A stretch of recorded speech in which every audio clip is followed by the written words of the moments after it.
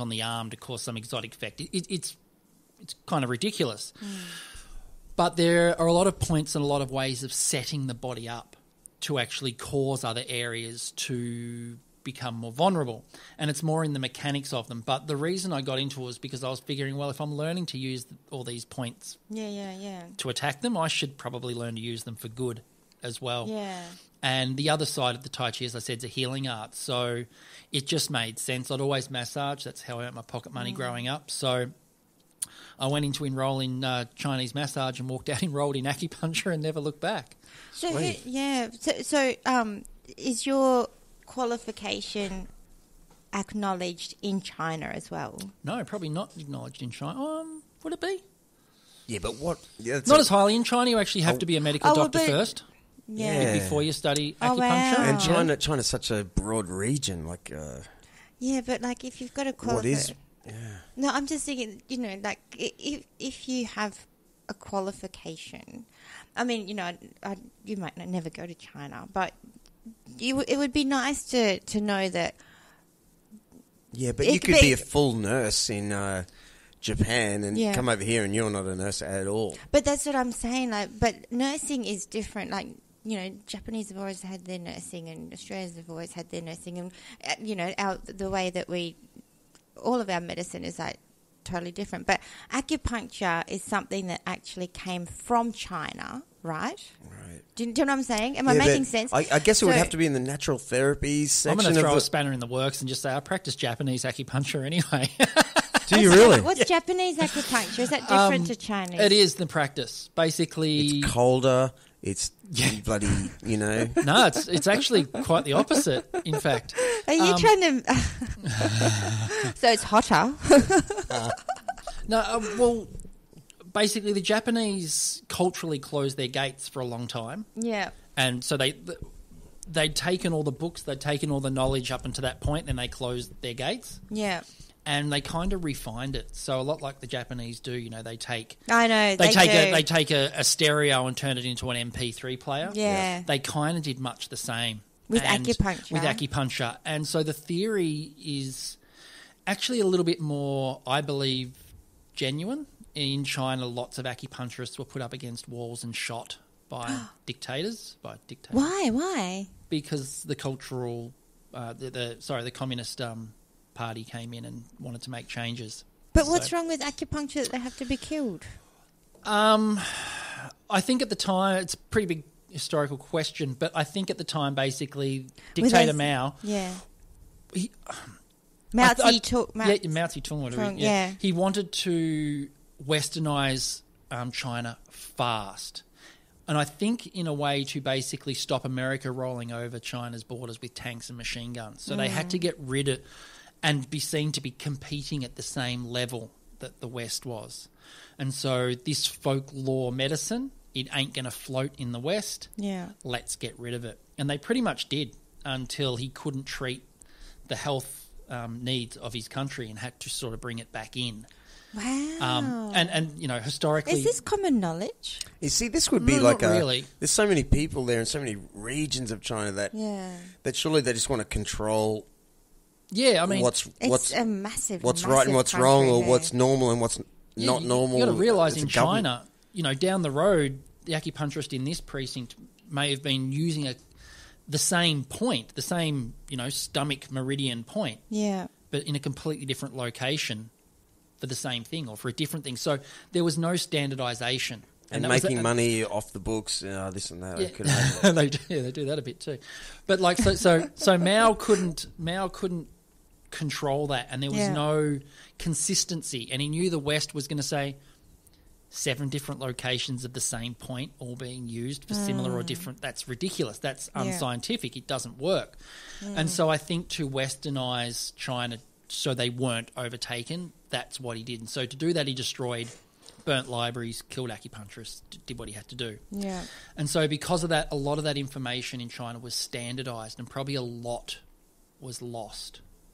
You know, I kind of imagine that he probably just got a group of acupuncturists and put him in a room with a guy with a machine gun and said, "Come up with one system, Yeah. or you don't leave the room."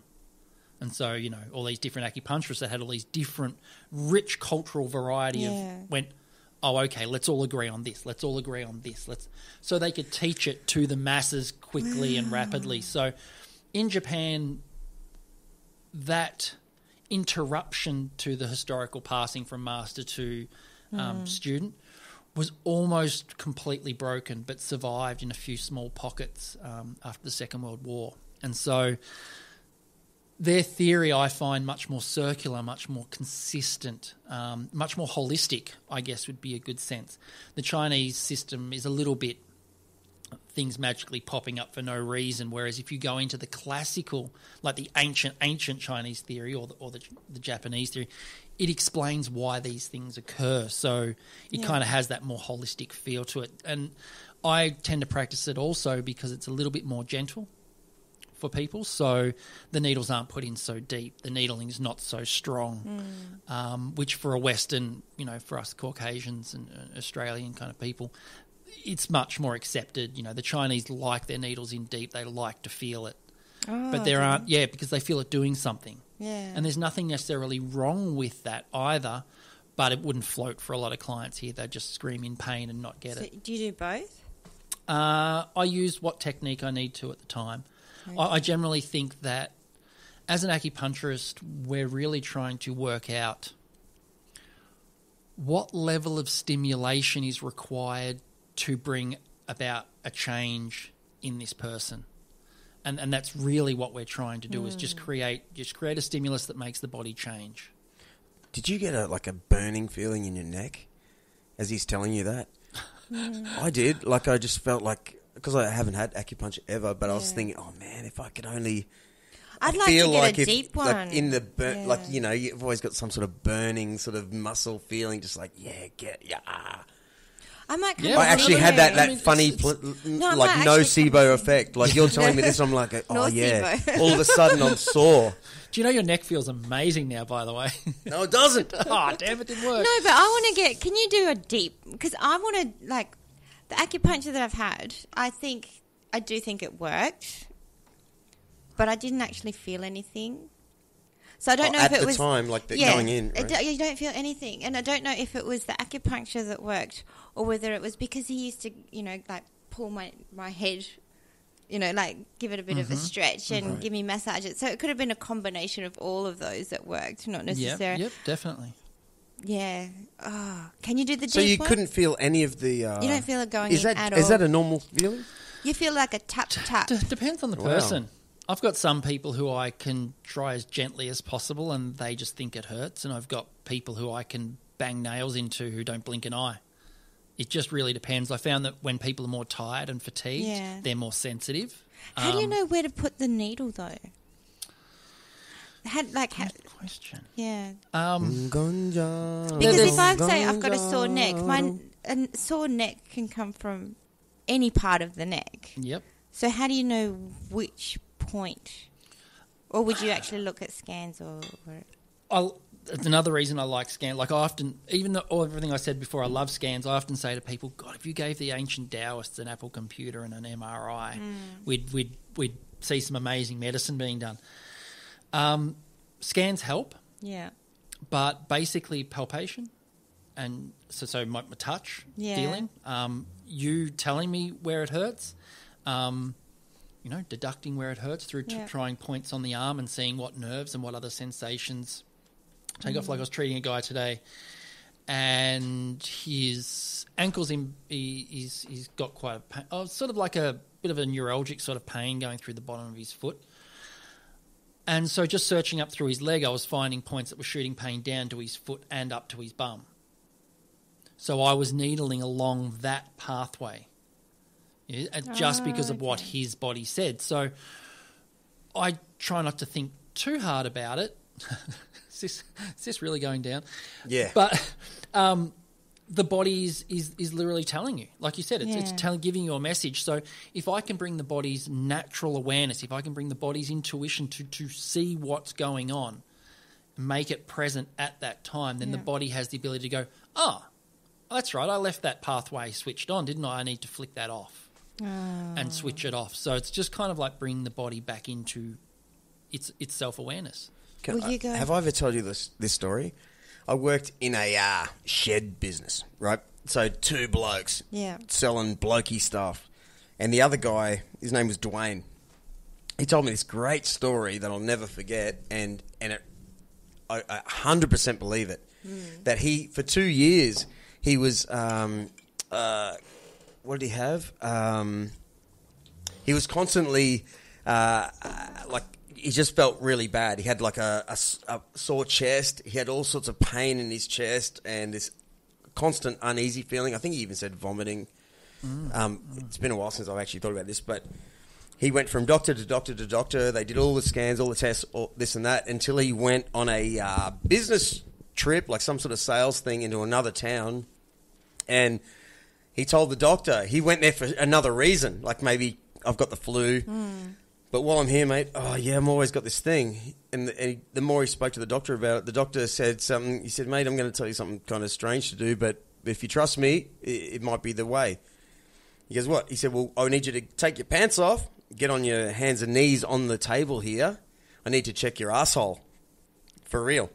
Yeah. because every time he would cough, he'd get this this this pain yeah, yeah, in his yeah. chest. Mm, mm. Turns out he had an ingrown hair in his ass, right? And the doctor An ingrown hair ingrown in his hair, ass. right? Now think about this. The Wow. next, think How about does this it go? But there's no hair growing in. s- around it. You know nothing about blokes. I do.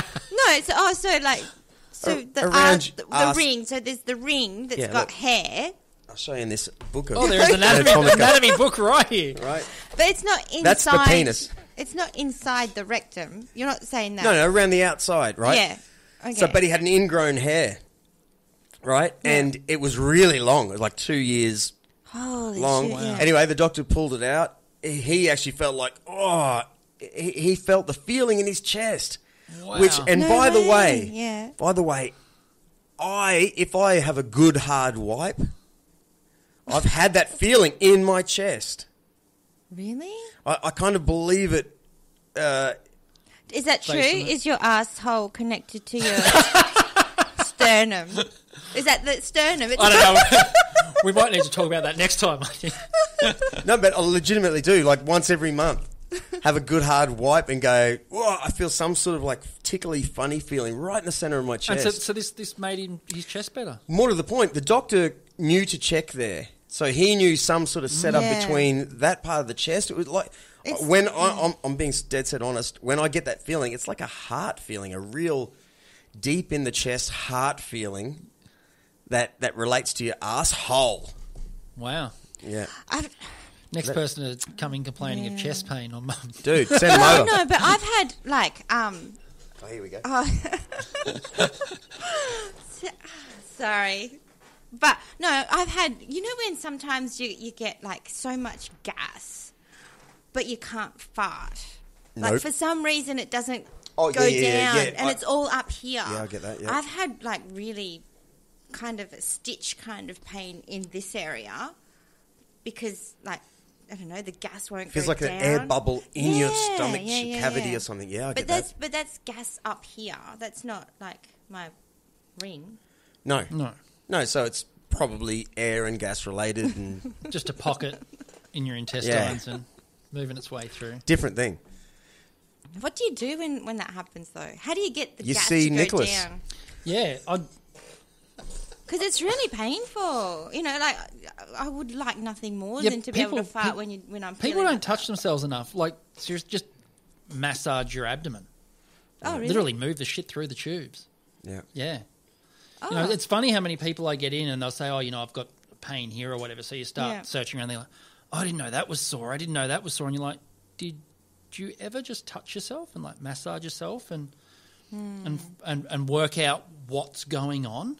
But yeah, a lot, a lot of people don't. You know, they just it hurts. I'm just going to leave it. yeah. Very true, man. Yeah, I often wonder, you know, what it would have been like when we were sitting around in teepees and in caves when the sun went down. We would have had such a intimate relationship with our own bodies and, and with our families and with our, you know, through Yeah. just physically hmm. touching and being Yeah, aware but there of was ourselves. no medicine. There was- Yeah, and now you know everything is a distraction. We don't spend any time with our body, Yeah. and I think that's probably the next big thing for people. It's actually self awareness. It's being involved with what's going on in your own body and, and hmm. becoming aware of it. How about this? Like something as simple as this. The, sa- it relates. Have you ever like had a quick drink of